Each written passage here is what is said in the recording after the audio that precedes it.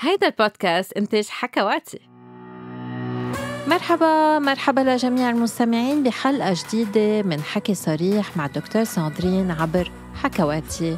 وبحب رحب بضيفتي لليوم غزل بغدادي استشارية تربوية وناشطة نسوية. ورح نناقش سوا معايير الجمال وتأثيرها على جنسانية المرأة. تأثير معايير الجمال على النساء وبالأخص على حياتهم الجنسية. قضية تطرح على نطاق واسع وبتحتاج أنه نتناقش بطريقة عميقة. الجمال والجاذبية كيف منعرف عليهم بالمجتمعات المعاصرة. غالبا بيتم تشكيلهم من خلال أفكار نمطية وتوقعات اجتماعية وهيدي الأفكار والتوقعات بتضغط على النساء لتغيير أجسامهم وسلوكهم لتلبية هيدي المعايير. هذا الضغط في أدي لزيادة الضغط النفسي والجسدي والقلق حول الجسد والجنسانية وكمان في يسبب التشكيك بالذات. بهيدا السياق رح نناقش مع غزل بغدادي الأسئلة الأكثر إلحاحا حول هذا الموضوع ورح نجرب سوا نلاقي حلول لمواجهة هذه النماذج النمطية تنرجع نعيد تعريف مفهوم الجمال والجاذبية من منظور أكثر شمولية واحترام للذات. غزل أهلا وسهلا فيك اليوم قبل ما نحكي عن موضوعنا. إذا فيك ترجع تعرفينا عن نفسك وعن نشاطاتك. أهلا فيكي وشكرا على الاستضافة. أنا غزل بغدادي استشارية تربوية ومؤسسة علمتني كنز وناشطة في مجال دعم المرأة وحقوق الطفل أيضا. بس إذا فيك تعطي اسم السوشيال ميديا account على الإنستغرام شو هن المنصات اللي أنت موجودة عليهم؟ أنا موجودة على كل منصات السوشيال ميديا تحت اسم علمتني كنز كنز مام وهو حساب من أول واحدة من أكبر المنصات العربية التربوية بالعالم العربي وأيضا موجودة بحساباتي الشخصية باسم غزل بغدادي كمان على منصات وسائل التواصل الاجتماعي. تمام. أنا بدي أشجع كل مستمعينا إنه عن جد يلحقوك على وسائل التواصل الاجتماعي لأنه كتير عندك رسائل مهمة للنساء وللأمهات بس مش بس للأمهات كمان للنساء. وهلأ مركزة على السيدات وعلى النساء بطريقة كتير قوية. فكتير ملهم الحساب تبعولك. بشجع كل المستمعين والمستمعات إنه يلحقوك. شكرا. غزل اليوم رح نحكي عن مفهوم الجمال والجاذبية. كيف فينا نعرف عن الجمال الأنثوي والجاذبية الجنسية بثقافتنا العربية؟ شوفي دوما بتذكر إنه ربينا على جملة إنه الجمال هو شيء نسبي يعني قد يكون في نفس الشخص انت تشوفيه جميل جدا وأنا أشوفه إنه لأ مختلف. لكن مع مع اليوم التطور والسوشيال ميديا والصور الإعلامية اللي صارت عم تظهر صار عم بيكون في صورة معينة للجمال. نحن لازم كلياتنا نوسع بهي الصورة لحتى تصير الأنثى مغرية وجميلة ومثيرة. وهذا الشيء عم بيخلي على الإناث ضغط كتير كبير. كان من قبل قبل وسائل التواصل الاجتماعي كانت صورة الجمال مختلفة. يعني في مرة قريت مقال إنه في دول تعتبر الوزن الزايد هو نوع من أنواع الجمال لأنه بيدل على الصحة وبيورجي إنه هي الأنثى تتمتع بصحة جيدة فإنه السمن هو أو الوزن الزائد هو إشارة إيجابية. اليوم نحن لا اليوم في مسابقات ملكات جمال اليوم في عروض أزياء في مانيكان بيطلعوا بالاعلانات وكلياتهم بيكونوا بجسم معين خصر محدد وحتى هلأ صار في حجم معين للشفايف وصار في حجم معين للخدود فصار في كتير pressure كبير على الأنثى عم بيأثر كتير على نظرتها لجسدها وعلى شعورها بانوثتها أصلا وثقتها بنفسها كمان. غزل انت بما انه عايشة ببريطانيا بس انت بالأساس كنت عايشة ببلد عربي. هل بتحسي في فرق بين التصورات المجتمعية للجمال والجاذبية بين هالثقافات اللي مختلفة أم لا؟ التأثير الإعلام قوي بالبلدين يعني ببريطانيا كمان في تأثير إعلامي كتير قوي على الأنثى الغربية. كمان بالدول العربية بس الفرق إنه ثقة الأنثى الغربية بنفسها أعلى بكتير من ثقة الأنثى العربية. طريقة التربية مختلفة طريقة التعامل مختلفة القوانين مختلفة. فأنا بشوف هون إنه لهلأ في إناث غربيات ببريطانيا قادرين يطلعوا بدون make up بالطريق ويروحوا على الشغل من دون ميك اب واصلا ال make يعني المكياج مو هو الشيء اللي كتير متعارف ببريطانيا. أكيد انت بتعرفي إنه الغرب بالعكس ان المراهقين المراهقين اللي بيحطوا مكياج مو مو الأعمار الأكبر يعني. فاللي اكتشفته إنه لا هون كمان في أثر إعلامي في صور دائما بالشوارع للأنثى النحيفة والأنثى اللي عاملة فيلر أو أو أو. بس مع ذلك لسه الأنثى الأجنبية قادرة إنه ثقتها بنفسها تكون أقوى. وهذا الشيء كثير بيلعب دور بإنه هي عم تتأثر يمكن بالصورة بس قطعا مو مثل الأنثى العربية. بس حتى إذا بتطلعي شوي على الصور النمطية اللي عنا إياهم للجمال يعني بين كيت موس اللي بنشوفها أكتر شي بركي ببريطانيا هلأ نحن عمرنا بركي اليوم بالأعمار الأصغر مش كيت موس اللي آه أشخاص تاني إيه بيتمثلوا فيها. بس بينها هي وبين هيفا وهبي في فرق يعني شوي بالتصور اللي عنا إياه لجاذبية المرأة أم جمال المرأة. صح. عندي صديقة دكتورة أسنان بتعمل الفينير اللي هو تبييض أسنان فقالت لي بتعرفي كيف بعرف إذا ال client اللي جاي عربي أو أجنبي؟ سلا كيف؟ قالت لي العربي بيقول لي بدي إياكي تبيضيهم وبين إني عاملهم أما الأجنبي بيقول لي بدي بيض أسناني وضلوا ناتشرال فهي هي الحقيقة نحن بنوصل لمرحلة إنه نحن بدنا نطلع عن الحد الطبيعي. شو هي هالعوامل اللي بتحدد شو اللي يعتبر جميل ومثير بمجتمعاتنا؟ يعني هل هي التضاريس؟ هل هو إنه الواحد يبين صغير بالعمر؟ هل هي البياض مثل ما عم تقولي بياض السنان والجلدة وكل المناطق؟ يعني شو هن هول العوامل؟ شوفي أول شيء نحن بالعالم العربي عندنا تقديس للمرأة البيضاء البشرة. يعني من فترة كان صديقي عم يحكي لي إنه هو خطب آه، حابب وحدة فراح لعند أمه عم يقول لها إنه أنا متعرف على صبية وبدي أتزوجها فأول سؤال سألته إياه إنه شو لون بشرتها؟ قام قال لها بيضة؟ قالت له خلص إذا بيضة أوكي. ما همها ولا أي شيء تاني عن الفتاة غير إنها بيضاء فنحن عنا عشق للبشرة البيضاء ولذلك بتلاقي دوما دوما دوما كلمات التفتيح آه، آه، هي رقم واحد بالإعلانات بالدول اللي عندها بشرة داكنة. فأنا بشوف إيه وبعدين عنا كتير مرتبط مثلا بالجمال والأنوثة الشعر الطويل بشوف. الشعر الطويل كثير مرتبط بالأنوثة والرجال غالبا بيحبوا الشعر الطويل نادرا تلاقي رجل بيحب الشعر القصير. النحافة والبطن المشدود وحاليا صار في الشفايف الأكبر وصار في تكساس الخدود والوجه اللي ما بعرف كيف بينحتوا الوجه. وفي فصارت معايير الجمال أصلا عم تختلف. يعني قبل كان التم الصغير حلو مثلا. طب هلأ لا هلأ كل ما كبرتي تمك أكثر بتصيري أحلى.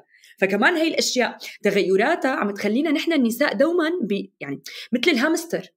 طب إنه أنا أنتم امبارح كنتوا بتحبوا مثلا التم الصغير اليوم التم كبر أنا بدي ضل عم بركض أعمل فيلر وبكرة أسحب الفيلر لأنه هي هي سلسلة غير متناهية أصلا. عم تحكي عن التم وكنت عم فكر أنا بالتم كمان لأنه أنا ستة ستة مصرية. وتمها كبير. نحن مش طالعين مثلها ابدا ما حدا بالعائلة تمه كبير إلا إلا التيتا إلا الستة. كانت تقول لي إنه هي بوقتها كانت تستحي من تمها وكانت حتى تحط حمرة بطريقة إنه يبين تمها أصغر لأنه التم الكبير كان فولجر يعني كان شيء آه، فاجر كان شيء لا يعتبر حلو وأنيق. كيف اليوم يعني كنت تطلع فيه وتقلي كيف هلأ اليوم كلهم بيركضوا يعبوا ويحقنوا بشفافهم ونحن قبل كنا نستحي بشفافنا. قد إيه معايير الجمال بتتغير مع الوقت. وقد عم تضغطنا؟ يعني قد نحن النساء ما عاد عرفنا شو بدنا نعمل بحالنا. طب أنا شو أعمل اليوم؟ أنفخ؟ طب بكرة أنحف؟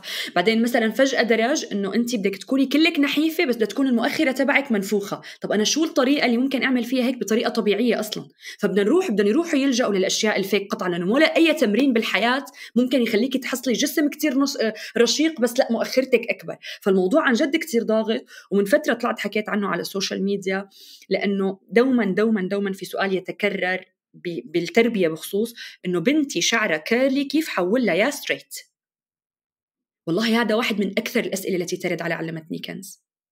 إنه طب ليش بدك تحولها شعرها straight لأنه بكرة بالمدرسة حيتنمروا عليها لأنه شعرها curly.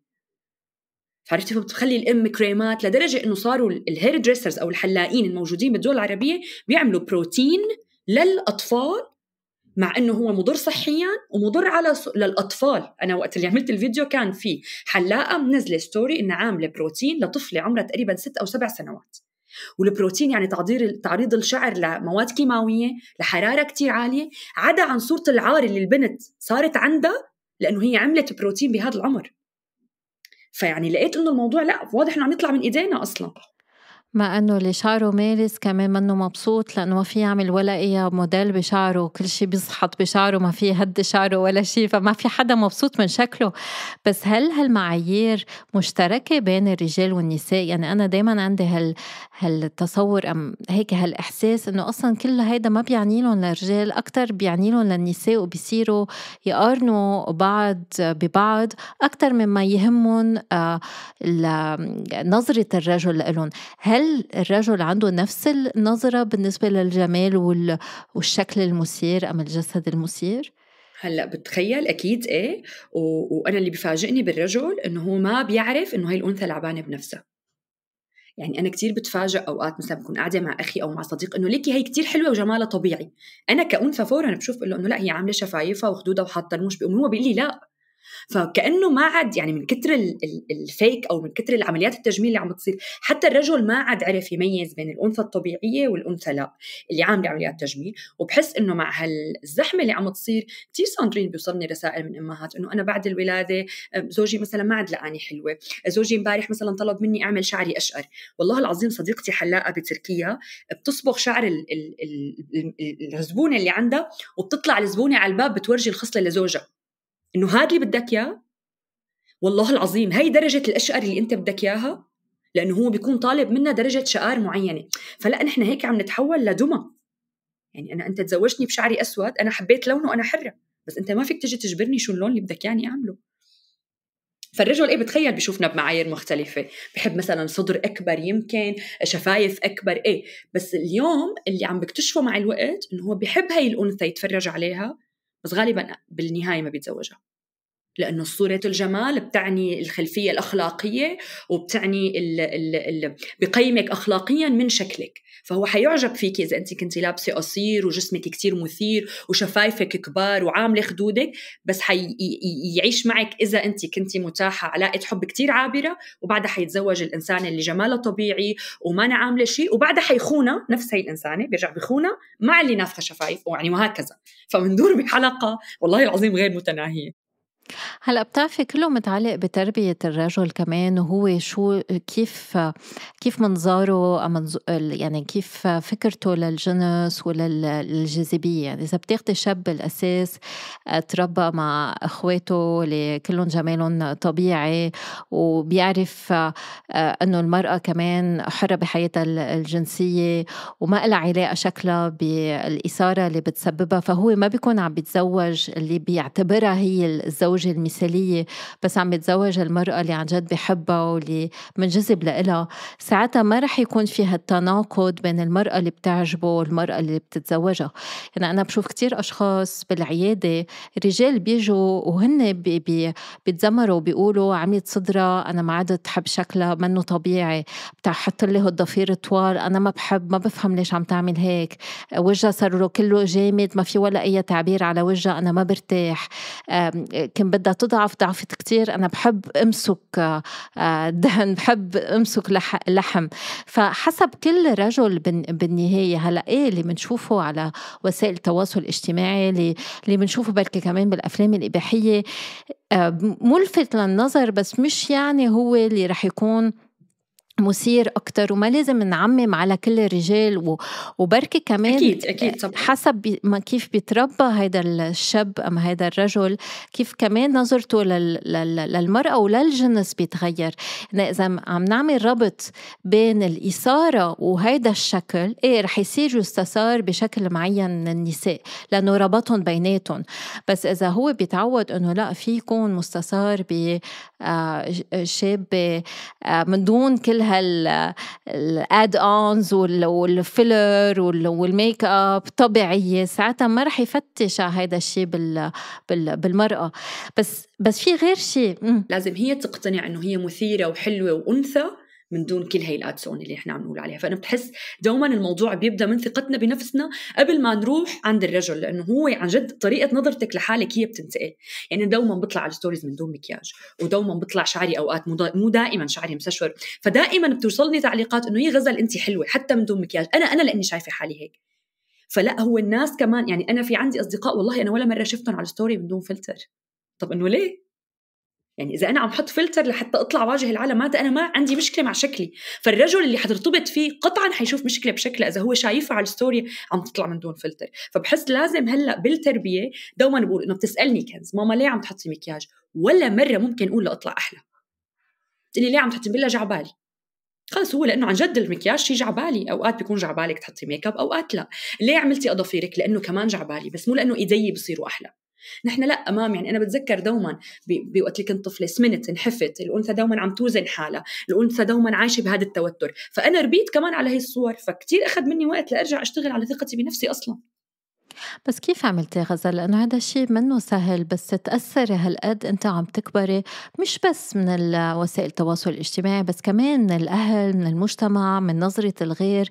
كيف الواحد في يبني هالثقة بنفسه وما ما يعلقها بجسمه أم بشكل جسمه؟ كيف يفتخر بجسمه كيف ما كان؟ شوفي بتذكر حتى بقلب البودكاست اللي قبل حكينا فيه أنا وياكي أنا كتير اشتغلت عن جد على إني أربط يعني أو حسن علاقتي بجسمي كجسمي. أه، ما كان أصلا يعني ما بيكون عنا علاقة بجسمنا بالعالم العربي أو بتكون العلاقه كتير سلبية. فأنا بلشت أحس إنه لأ أنا اليوم جسمي حلو وبدي أحاول شوفه حلو. هلأ ما بنكر إنه كتير جزء من ثقة الأنثى بنفسها بيجي من خلال الجنس الآخر أكيد.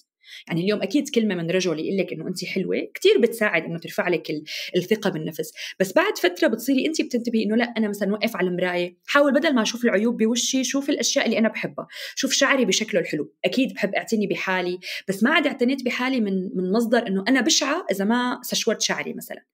لا أنا بلاقي حالي حلوة وفعلا بفتح أوقات ال story والله ما بطلع على حالي بالمراية. أه وصرت أشتغل على هي النقطة عند كنز يعني صرت الناقص عندي إزرع الثقة بقى عندي وعند بنتي. ماما انت حلوة شو ما عملتي؟ مثلا كان دائما عندي فكرة إنه نحن بنفيق من النوم مثلا دائما بيقولوا إنه اللي بتفيق من النوم بتكون ما كتير حلوة. إنه بياخذ وقت ليرجع جمالها لوشها. فأنا لا صرت فيق من النوم وأتفرج على حالي على المرايه إنه لا أنا بفيق حلوة. وكل ما بتصحى بنتي بقول ماما ما بعرف كيف انت بتفيقي حلوة إنه عم حاول بس ارفض الفكرة السائدة. فبحس إنه اليوم تحتاج المرأة إنه تعمل ستوب بهالحياة وتوقف عن جد تحب حالها وتحب جسمها واصابيعها وشكلها وخدودها وكل شيء وهي الثقة بتوصل للشريك. هلأ مو يعني إذا ما بنحب حالنا إنه ما ما بنشتغل يعني ما بنهتم بحالنا. مثلا دائما بيقولوا لي إنه انت كثير حلوة أنا كثير بحب أعمل بوتوكس لأنه ما بحب الكبر. يعني أنا ما بحب ابين مش تجاعيد على وشي. هلأ يمكن إذا طلع تجاعيد ضل شايفة حالي حلوة بس أنا بحب إنه يضل وشي مبين آه، طبيعي إنه ما يطلع هدول الخطوط. فوقت اللي بيعمل بوتوكس طب إنه مو واثقة بنفسك من دون بوتوكس؟ مبلا بس البوتوكس بيعطيني شعور بالسعادة أو بجوز بيعطيني ثقة بنفسي أعلى. فنحن في عنا خلط إنه إذا أنت بتوثقي بنفسك لازم تهملي نفسك. لا لا لا. بس الهدف أو الدافع للاهتمام بالنفس هو زيادة سعادتي مو زيادة إعجاب الآخرين فيني. هو كيف ترتاحي أنت مع جسمك مش كرمال غيرك. كنت شوي من شوي عم تحكي عن الفلترز. في كاتبة أمريكانية كورية بتعرفي عند الكورية كمان عندهم كتير صور نمطية بالنسبة للجمال صح. فكان كاتبة كتاب بالأول كانت كانت كاتبة كتاب عن الجمال إنه كيف الواحد بده يكون perfect فلولس كمان كانت عم تحكي عن خبرتها مع بنتها إنه بنتها كانت عم تقول بس أنت فيك تحكي هيك لأنك أنت أصلا حلوة. إنه هي عم تقول بالكتاب إنه لازم تحبوا حالكم مثل ما أنتم فبنتها إجت قالت لها بس أنت إنه عندك هال luxury قادرة تقولي هالشيء لأنه أصلا أنت شكلك حلو يعني. هذا الشيء رح يكون أصعب للي شكله بركي منه فايد بالنمط الجمالي اللي عنا إياه. بعدين حكيت عن شيء كتير لفت لي نظري وكتير حقيقي. هلأ بعد الكوفيد كوفيد إنه أصلا نحن بس نطلع على حالنا آه قبل كنا نطلع بالمراية. اليوم نطلع خلال كاميرا التليفون مع الفلتر. فتصورنا لنفسنا صار مخشوش لأنه ما بقى عم نشوف نفسنا آه، بطريقة آه، حقيقية. حتى Zoom أنا بس استعمل ال Zoom آه، كرمال معينات أونلاين أما إذا عنا محاضرات بستعمل نوع من الفلتر اللي بخلي الجلدة تكون نقية. وتعودت لأشوف حالي أنه جلدتي من دون ميك اب نقية اللي هو منه مش مزبوط يعني. وبس اطلع على وجهي بالضوء هيك بنقز إنه بتفاجئ بحالي إنه آه. انه انت تعودتي. لأنه كمان عملوا دراسة إنه بعد الكوفيد زادت عمليات التجميل أكثر بسبب الزوم. لأنه صرنا نشوف حالنا كل الوقت. مزبوط وصرنا نشوف حالنا مش بطريقة طبيعية لأنه الكاميرا كيف بتشوفنا أم كيف تلقطنا بضوء كتير مختلف وبتعطينا صورة كتير مختلفة عن عن نفسنا. وهذا شيء كتير بدنا ننتبه له إنه نحن بالحياة عم نتحرك عم عم نكون من فوق لتحت عم نتطلع بعيون الأشخاص عم نتبسم لهم. غير هالوجه اللي أنجأ بيتحرك على على السوشيال ميديا أما غير هالوجه اللي كل الوقت عم بيطلع على نفسه مش عم بيطلع على الشخص الثاني بس إذا بدنا نحكي شوي عن مش بس النماذج النمطية وكيف بيأثروا على المرأة وثقتها بنفسها بس ما في هيك شوي تناقض بين أنا كيف لازم يكون شكلي وبعدين كيف لازم يكون بالتخت يعني ما في هالتأثير شوي بين المظهر الخارجي وبعدين التصرف بالمنزل أم بال بال بالتخت مع الشريك هل في تناقض بيناتهم أم ماشيين سوا؟ برجع بقول ما بدي أعمم على كل الرجال بس في صورة اليوم بالعالم العربي وأنا دوما هي الصورة كثير بتزعجني صراحة. إنه اليوم المطلوب إنه انت تكوني بنت هيك تبع مبين عليكي إنه انت كثير مؤدبة كثير مهذبة آه، لبسك طريقة حكيك و و و بيتزوجك الشاب بعدين بيتوقع منك إنه انت بالسرير حتكوني مثل اللي هو كان يشوفهم بالأفلام اللي كان يتابعها مثلا لما كان سنجل هي الأفلام الإباحية. بيتفاجئ إنه انت ما كنتي بهذا المستوى كونك انت أصلا أنثى ما عندك خبرات جنسية سابقة. فهون بصير الرجل عنده مشكلة إنه هو حاسس إنه في جاب جنسية بينه وبين زوجته. فهون بيكون في عنده الحلول غالبا متاحة كثير إما الخيانة أو إنه أكيد هو حيشتغل على فكرة إنه تعالي أنا وياك نحسن علاقتنا الجنسية لأنه هذا الوعي لسه ما موجود بكثرة. طيب لنعكس الحالة بحالة تزوج هي البنت المهذبة اللطيفة و و وطلعت بتعرف تعمل ممارسات جنسية بالسرير فهون ببلش الرجل يشك. إنه انت طب وين تعلمتي هالممارسات؟ فنحن على الحالتين يعني نحن على الحالتين مذنبين.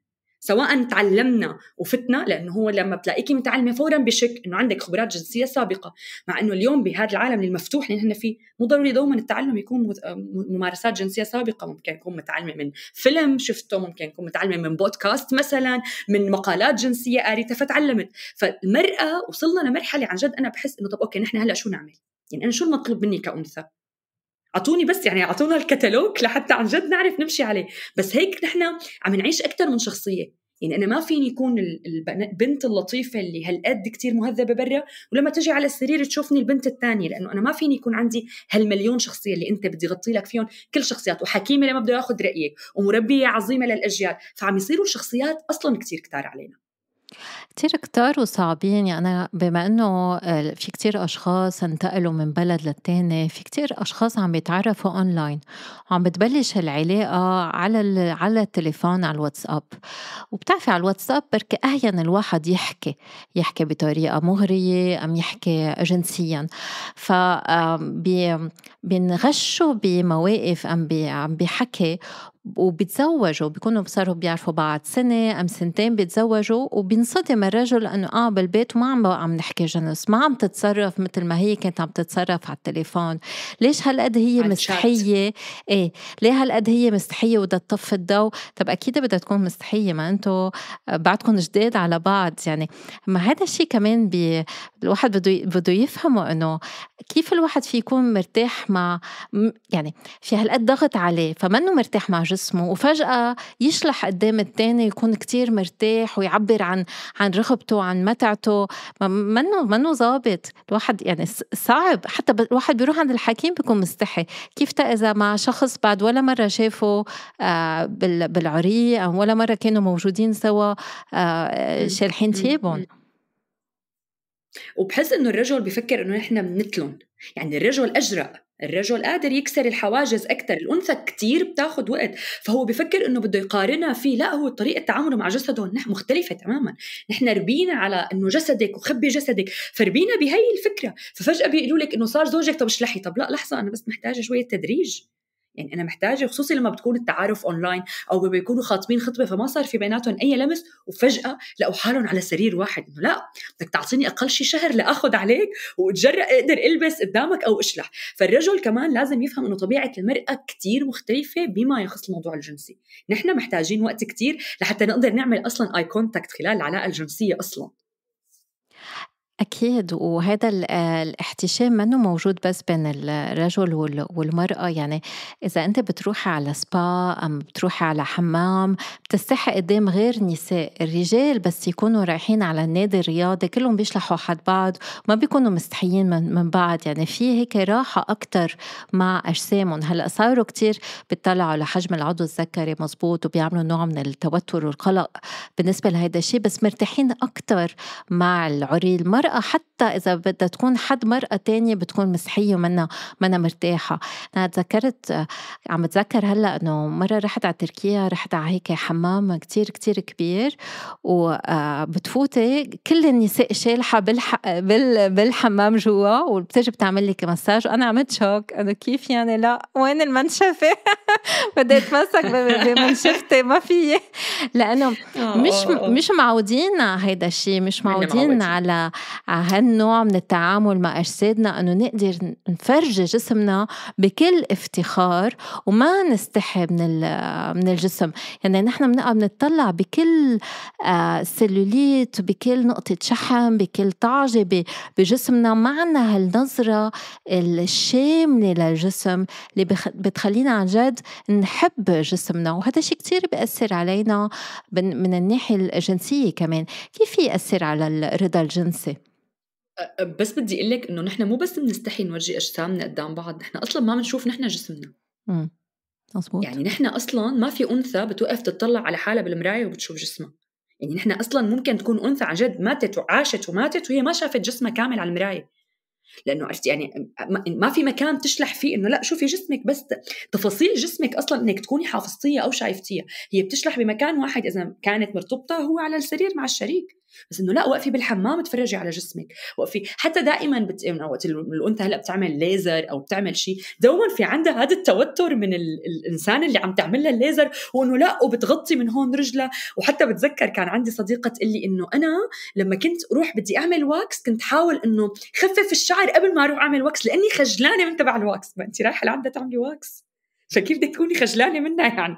فنحن كثير عنا هذا التحفظ إنه لأنه مثلا الشعر بالجسم عنا مرتبط بعدم النظافة في كثير عنا أشياء مرتبطة بجذور ما بتشبهنا لا ممكن يكون أنثى هي حابة يكون في شعر بجسمها وريحتها بتاخذ العقل.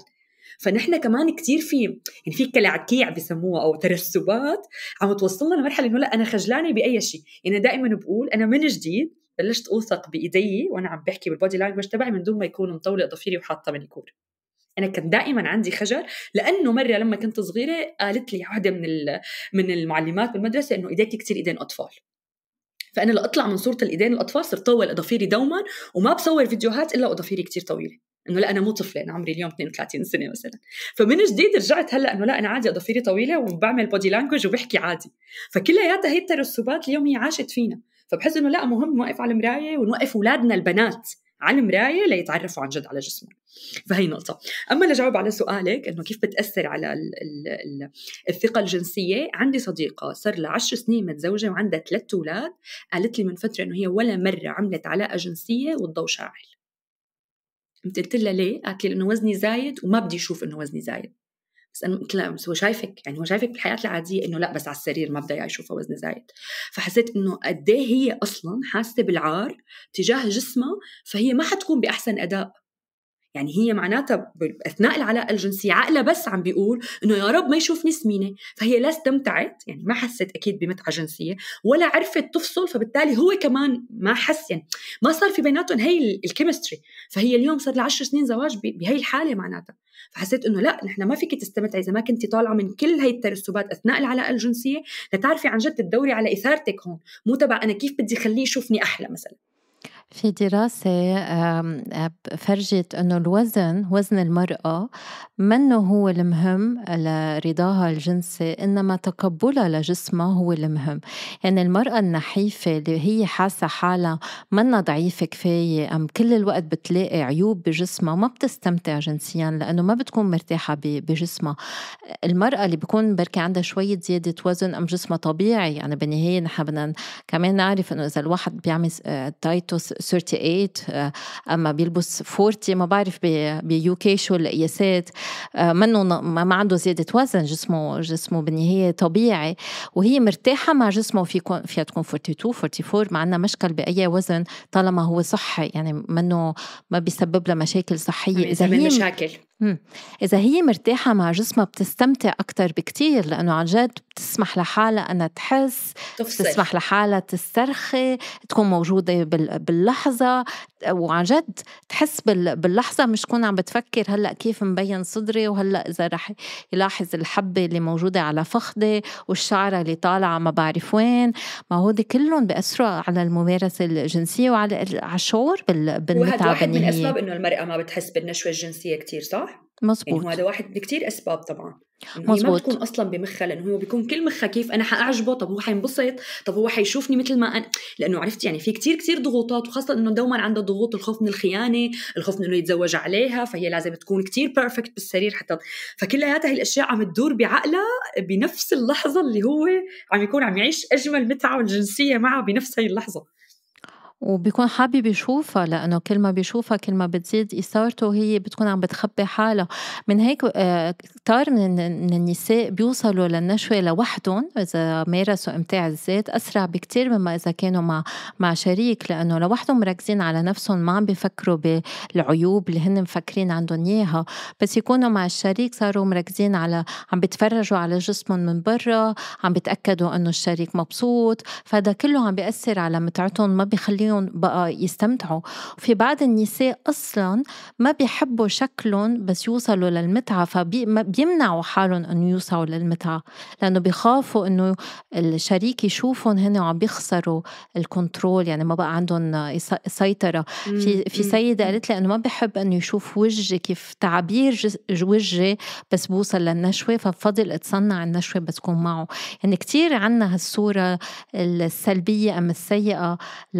لأجسامنا، لتصرفاتنا، لإنه أصلًا اللي منشوفه بالأفلام منّو واقعي أبدًا، يعني هلأ في series كتير باحبها هي Outlander على Netflix. كتير فيها بقلبها هيك مناظر و و آآ love scenes يعني كتير مشاهد حُب وممارسة جنسية، بس إنه هيدا كلّه تمثيل نحن ما منكون بهالطريقة، أجسامنا ما بيكونوا هيك أصلًا بس نمارس الجنس وبدنا نتقبّل هيدا الشي، وأصلًا هل المرأة بتصير تطلّع على الشعر وعلى الحبّة وعلى السلوليت عند الرجل؟ أم تطلّع بعيونه، أم تطلّع أكتر ب بتسمع نفسه، أم بتش بتحب تشدّه على جسمها؟ يعني هون بدنا نطلب من كل امرأة كمان تشوف هي كيف بتكون بيكون تصرُّفها بالنسبة للرجل تتقدر تلاقي هالنوع من التقبُّل مع مع جسمها. هل في خطوات عملية اليوم أنتِ بتنصحي فيها خاصةً اللي بيعملوا معِك استشارات عن كيف بيفصلوا خلال العلاقة الجنسية؟ يعني كيف عن جد الأنثى تبطّل تفكّر بصورة جسمها وشاف صدري، لأ شاف الحبّة، لأ، لأ، لأ، شو المفروض يعملوا؟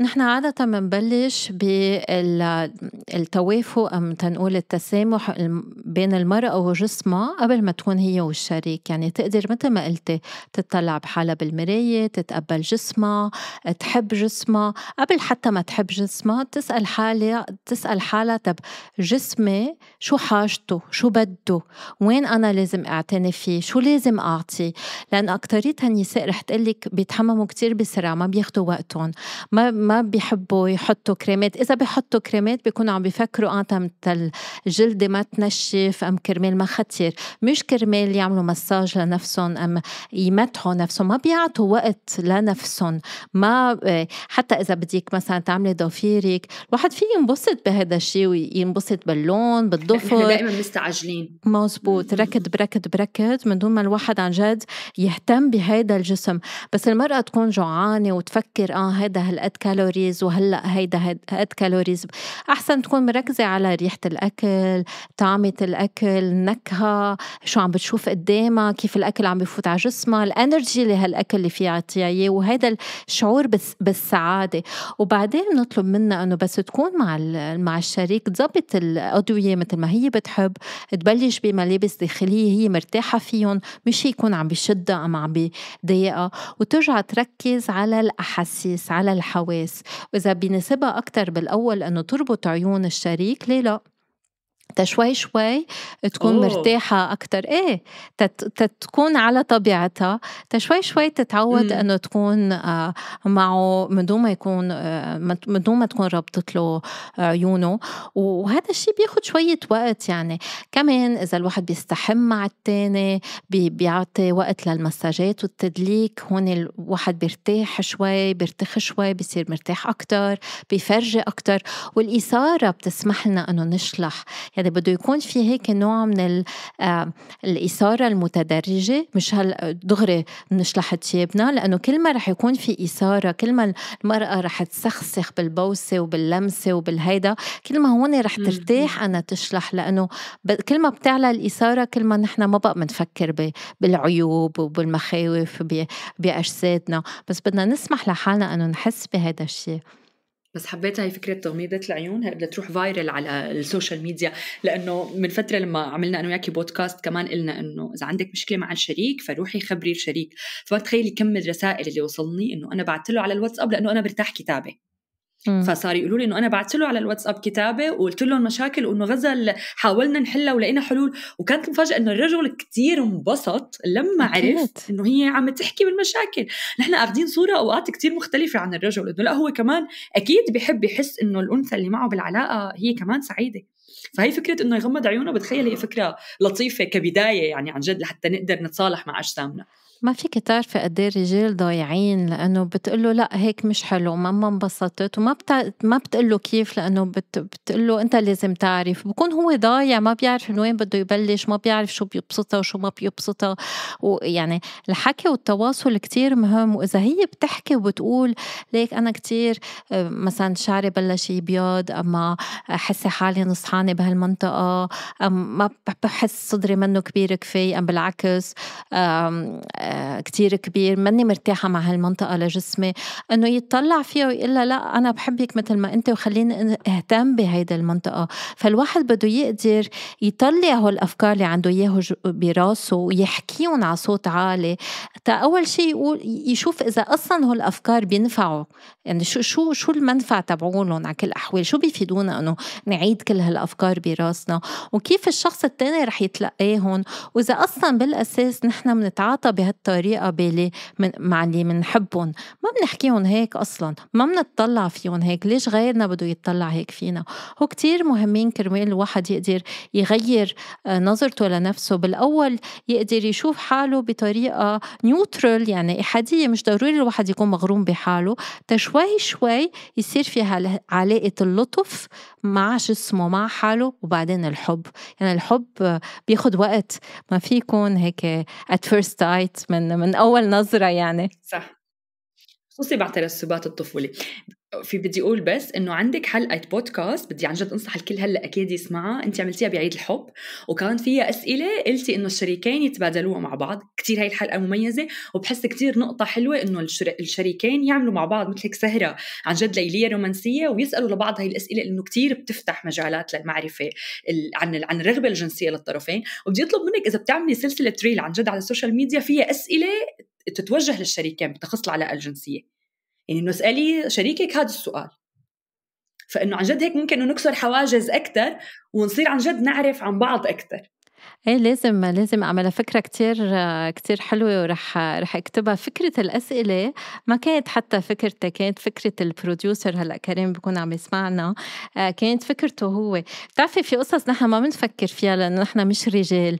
بس هو قال لي إنه أنا كتير بتعلم من البودكاست تبعولك وبحب بركي إنه إذا بيكون في هيك قصص أكثر تطبيقية تنعرف كيف فينا نتصرف مع شخص مع الشخص الثاني فهو أعطاني فكرة الأسئلة وقتها. لازم دائما يكون في هالحوار مع الغير بتفكريها أنت default وانت بتفكري إنه هاي الأسئلة دي بس هي لأ يعني أنا فترة عملت هيك سلسلة إنه اسألي شريكك هيك بالسهرة. فواحدة من الأسئلة كانت إنه شو أكثر موقف عمله مؤخرا وحبيتيه؟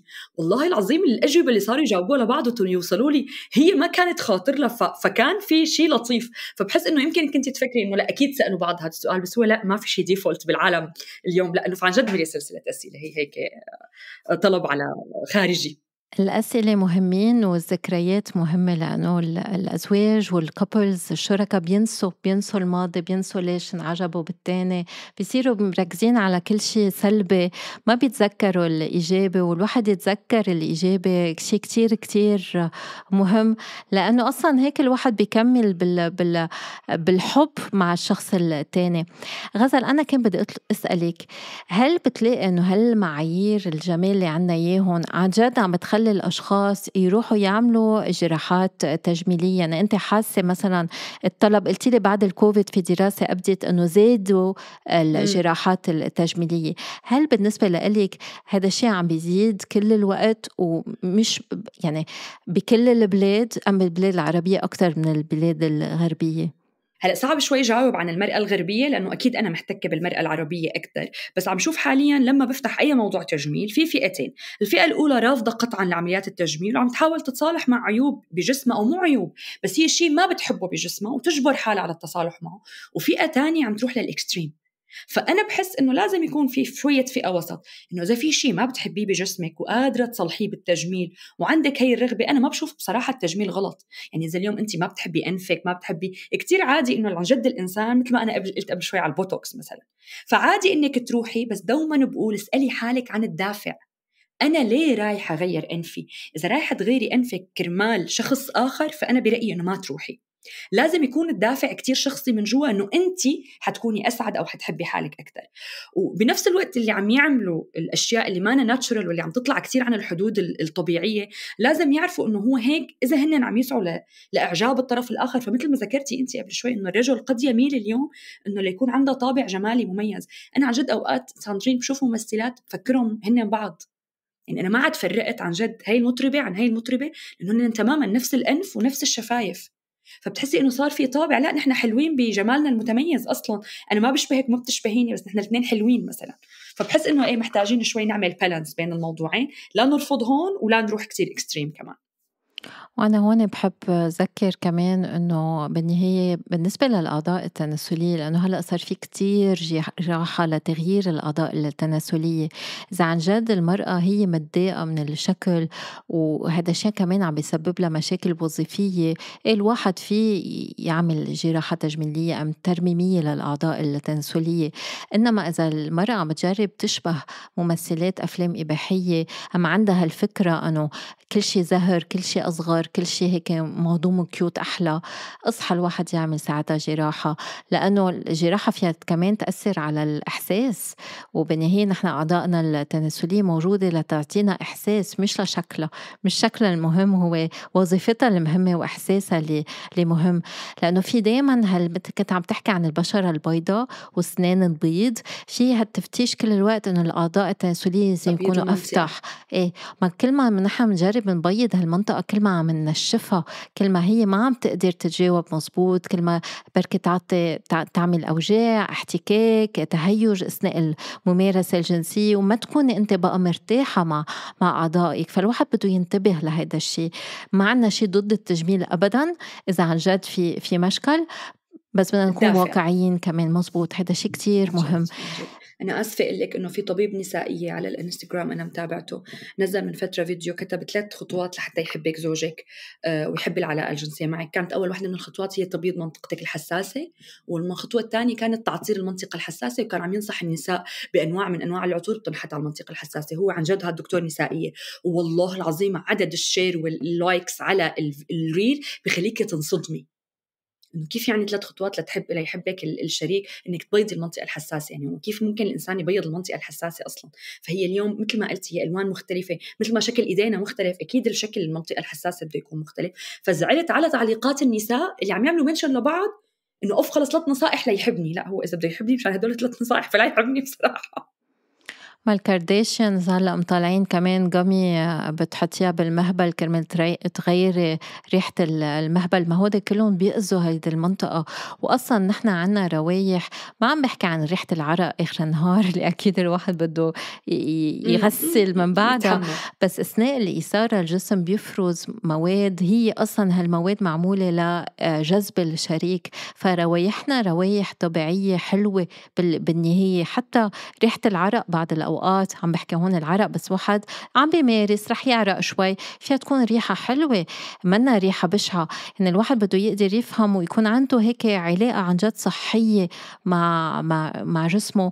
وبفتكر التغيير مثل ما أنت قلت بده يبلش مع الأطفال. كيف عم نربي عم نربي بناتنا وشبابنا؟ كرمال نبلش بهذا التغيير. وإجينا كتير أسئلة عن هذا الموضوع. بس قبل ما ننتقل لأسئلة المستمعين رح نسمع هيك بعض النصايح لمقاومة معايير الجمال الصارمة.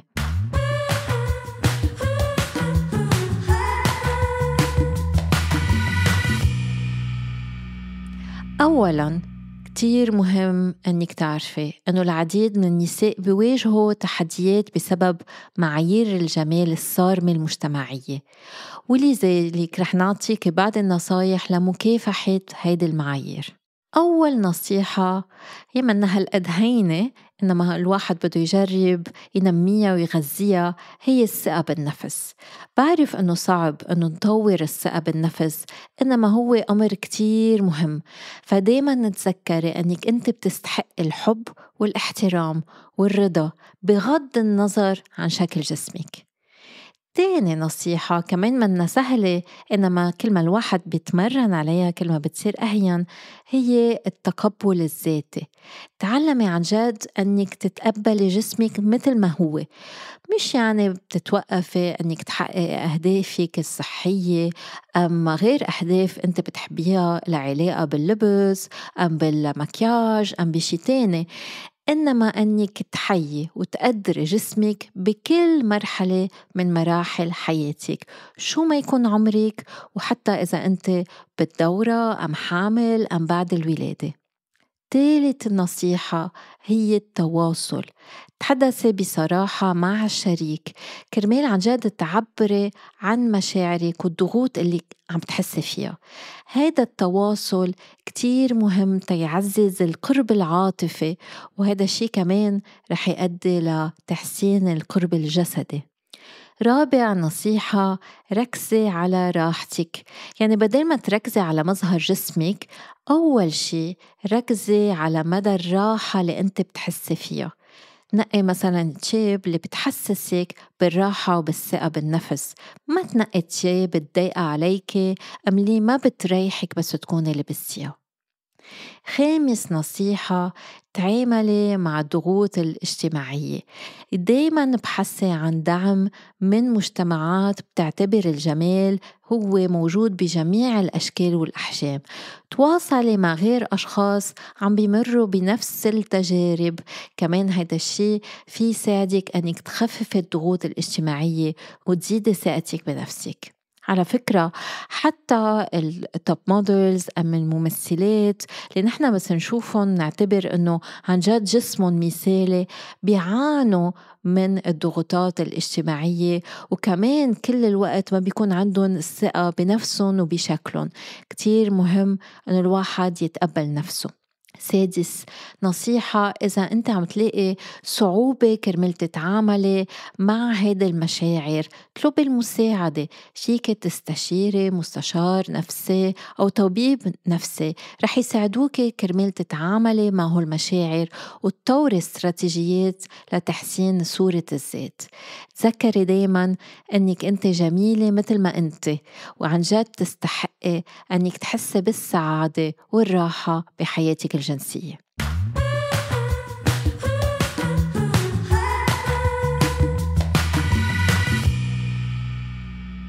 غزل أجينا كتير تعليقات وأسئلة عن الموضوع وخاصة من أهل.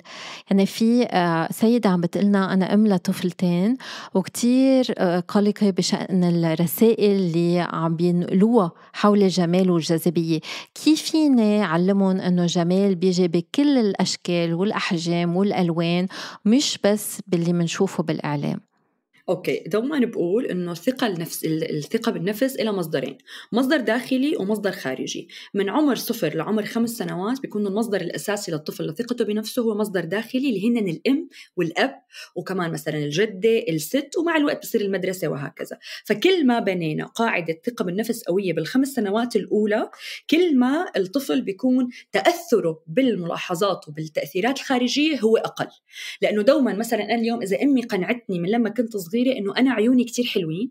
مهما شفت دعايات عم تحاول تأثر على إنه مثلا تكبير العيون أجمل بضل دوما عندي قاعدة قوية انزرعت بطفولتي بإنه أنا عيوني حلوين. فكتير بقول للأهل إنه دوما دوما وخاصة للبنت تكون في تعليقات حلوة عن تخص جسدها. بعيدا عن إنه انت ذكية ولا شو عرفتي لا لا. في تعليقات حلوة وشعرك حلو وصحيتي حلوة واصابيعك حلوين. وخاصة من الأب للبنت مو بس من الأم لأنه دوما المدح من الجنس الآخر بيكون له أثر مختلف عند الأنثى.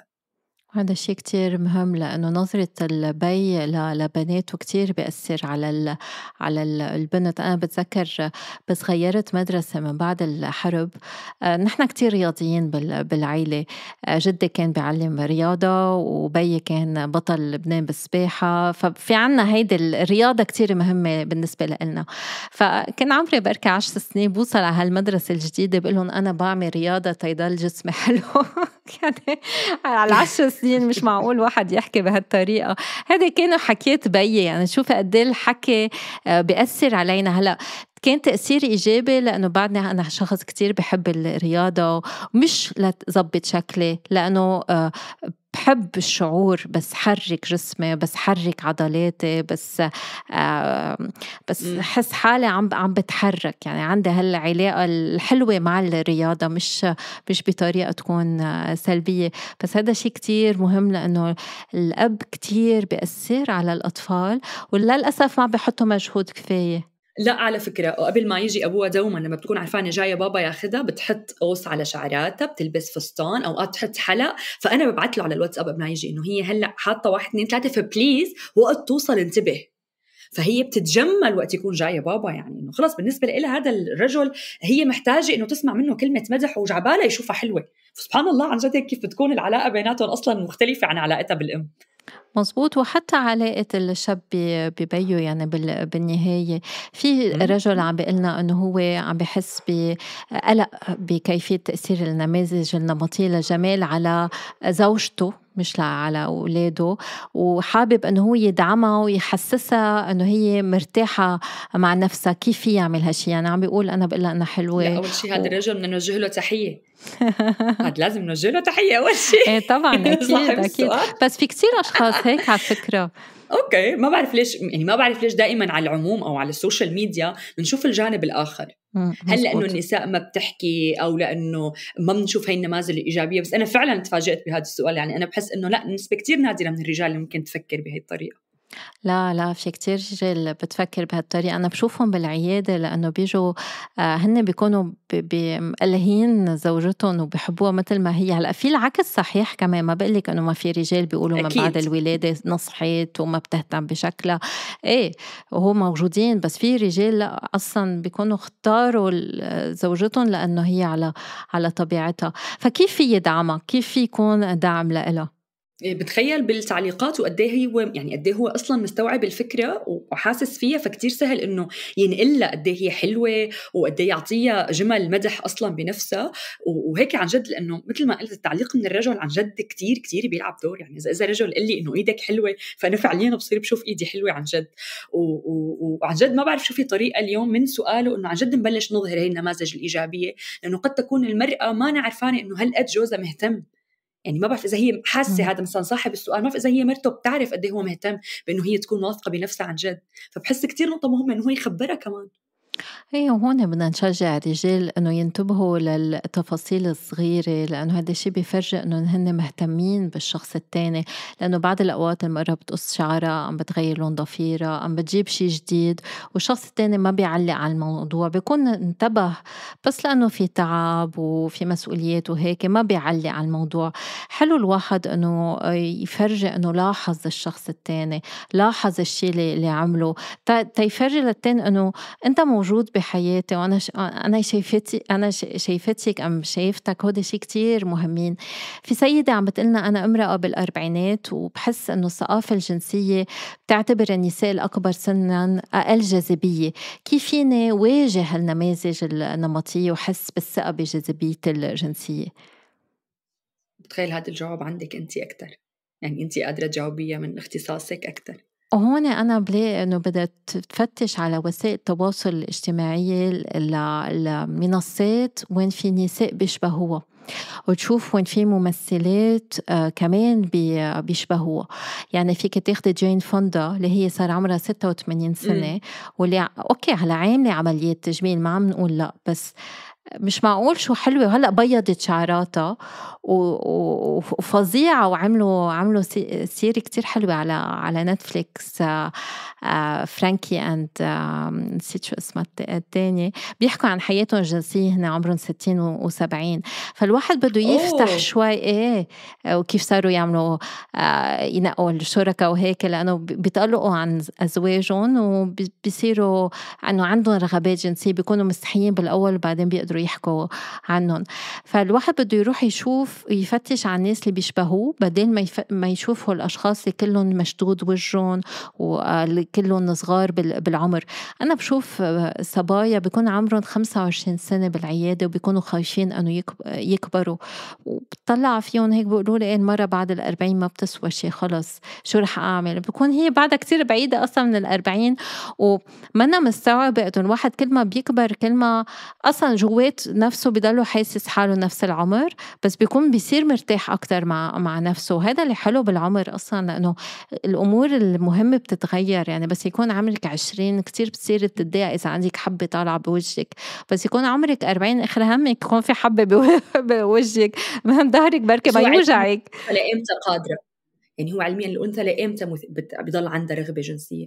للآخر طالما هي مرتاحة مع جسمها. ليه عندنا الصورة النمطية إنه لا هي على 50 سنة ما بقى بتعمل شيء أو على 40 سنة أو بعد السن اللي بسموه أصلا سن اليأس. لأنه كل شيء متعلق بالخصوبة.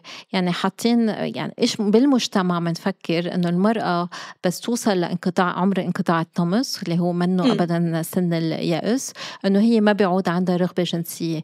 جسديا بضل عندها رغبة جنسية. نفسيا إذا هي مستعدة بضل عندها رغبة جنسية. المشكلة الوحيدة هي الترطيب لأنه الأستروجين هو هرمون اللي بيسهل الترطيب بالمهبل.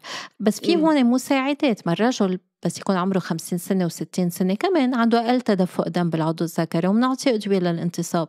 نفس الشيء للمرأة بنعطيها آه، أستروجين مهبلة بنعطيها مزلقات. كرمال يضل فيها الترتيب كرمال ما توجع أثناء العلاقة الجنسية. بس البظر على فكرة ما بيختر بضله قادر يوصل المرأة للنشوة شو ما يكون عمرها. والواحد فيه يمارس الجنس بغير طريقة. مش داي... مش ضروري دايما يمارس بطريقة العلاج. إنما المرأة على 50 60 70 بتضل فيها تمارس العلاج يعني الجنس مع علاج إذا شريكة قادر حسب كمان عمر شريكة. وبعدين الواحد بيظبط يعني بي بيخير ممارساته الجنسية. أنا كان عندي كابل هو عمره 80 وهي 78 كان هو عم بيطلب علاج تيصير عنده انتصاب بس قلت له إنه أنت أكيد مرتك بدها.